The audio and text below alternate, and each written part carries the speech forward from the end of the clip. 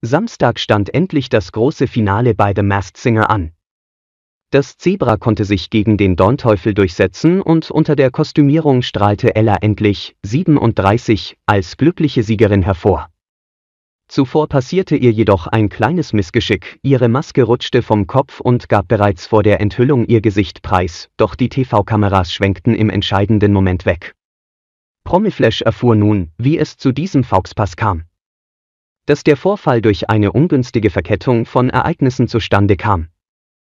Das lag daran, dass ich mich so sehr gefreut hatte. Ich bin zur Seite gekippt und hatte vergessen, dass die Schnalle innen nicht mehr dran war, natürlich war sie nicht mehr dran, weil ich ja kurz darauf enthüllt werden sollte, schilderte sie amüsiert.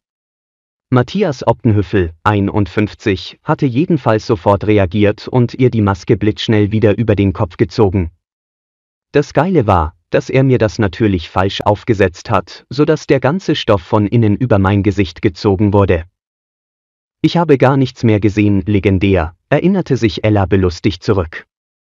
Die Sängerin nimmt ihren Fauxpass offenkundig mit Humor.